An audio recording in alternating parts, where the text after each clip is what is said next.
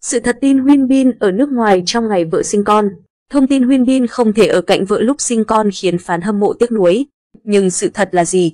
Ngày 27 tháng 11, thông tin Son Ye Jin sinh con trai đầu lòng đã nhận được lời chúc từ phán hâm mộ khắp châu Á.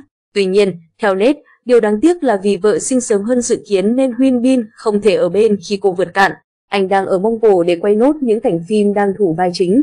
Một nguồn tin thân cận cho hay, đoàn làm phim cấp nhị tân của đạo diễn Gu Min, họ hiện đang quay cuồng với lịch quay dày đặc. Nam diễn viên đang nỗ lực để thực hiện những cảnh quay đầy thử thách cho vai trò nam chính. Tuy nhiên, ngay sau đó, tờ Sport News đưa tin độc quyền nhằm phủ nhận tin đồn nói trên.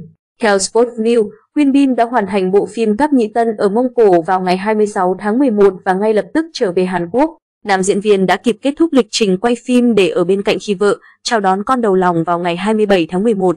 Trước đó, vào tháng 9, trả lời phỏng vấn báo chí, Huyên Bin chia sẻ, tôi vẫn chưa tin rằng mình đã lên chức bố. Việc có con là một phước lành lớn, tôi rất vui mừng và chờ đợi hàng ngày. Tôi nghĩ bản thân phải sống và làm việc chăm chỉ hơn nữa. Huyên Bin và Son Ye Jin làm đám cưới hôm ngày 31 tháng 3 tại Seoul.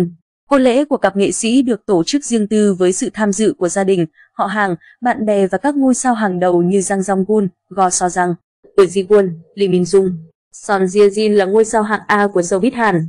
Tên tuổi cô được biết đến với loạt phim điện ảnh, truyền hình, cổ điển, Hương mùa hè, Khoảnh khắc để nhớ, Cô đơn trong tình yêu, Me Why God Mariah Last Princess, Chị đẹp mua cơm ngon cho tôi, Hạ cánh nơi anh, đóng chính với Huyên Bin. Gần đây, cô đóng phim tuổi 39.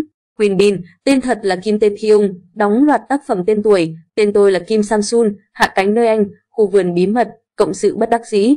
Nam diễn viên hiện là một trong những ngôi sao có uy tín và giá trị thương hiệu cao trong showbiz Hàn.